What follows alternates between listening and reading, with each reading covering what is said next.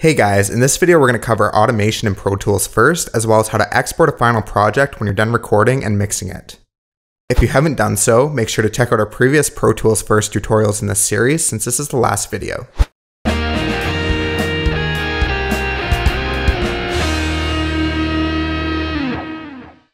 First, let's go over how to use automation in Pro Tools first. Automation is important if you want to make changes to settings like volume and panning, and have the track apply them automatically in the same way each time it plays. To start working with automation, we need to make sure we're in track view. Then drag the bottom of the track you want to apply automation on to expand the view. To see the automation settings, press the arrow on the bottom left of the track to display the automation lanes. Before we use automation, we need to go over the different automation modes. There are five automation modes in Pro Tools first. First is off. In this case, automation is not read or written. Next is read. In read mode, the automation settings that have been written will be applied to the track, but new automation cannot be written as the project is playing. In touch mode, the automation is written if we keep clicking and dragging a control, but it snaps back to normal if we release it.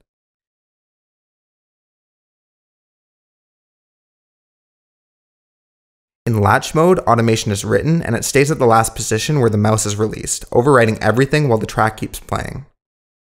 In both touch and latch mode, the automation is also being read and stays the same if no controls are being changed. Finally, there's write mode.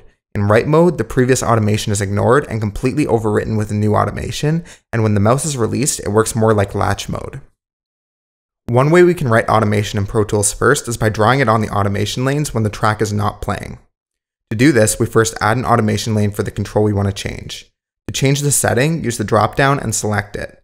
If we want to draw, right click and make sure the tool is set to pencil. To erase the automation, use the select tool. Select the area of automation and press the delete key. So that's pretty much it for automation. Between the drawing tool and the automation write mode, you should be able to automate whatever settings on the tracks you need to. Once you're done, you can press the arrow in the bottom again to hide the automation without disabling it for your project. The last thing we need to go over in Pro Tools first is exporting our project. Since this is only a demo version of Pro Tools, we'll cover two different ways we can export our project. The first way we'll export our project is just as an audio file. To do this, finish off any mixing and make the project sound exactly how you want it. Then go to the File menu and select Export Audio Mix. All these settings are okay, except that we might want to change the bit depth to 16-bit for a final export. If the project was recorded at a higher bit depth, make sure to add dithering to the master channel as an insert at the end of the effects chain. Then just choose a directory and a file name and export the file. Since Pro Tools First only allows us to have three projects saved on the cloud at a time, and no option for offline saving, I recommend also exporting all the individual tracks as separate audio files. That way, if you need more projects, you can still have the original recordings you can work with. If you choose to do this, save the files both with and without their inserts applied, and maybe even create a document for what plugins and settings were used in case you need to go back to it in the future. Then solo the tracks individually and export them. You can also export MIDI clips. Though this isn't a perfect solution, it's one way to get around the three project limit for Pro Tools first if you're really stuck.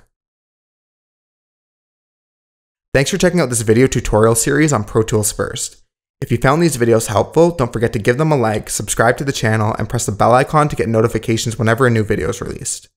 You can also check the video description for social media accounts to stay up to date on all our new content.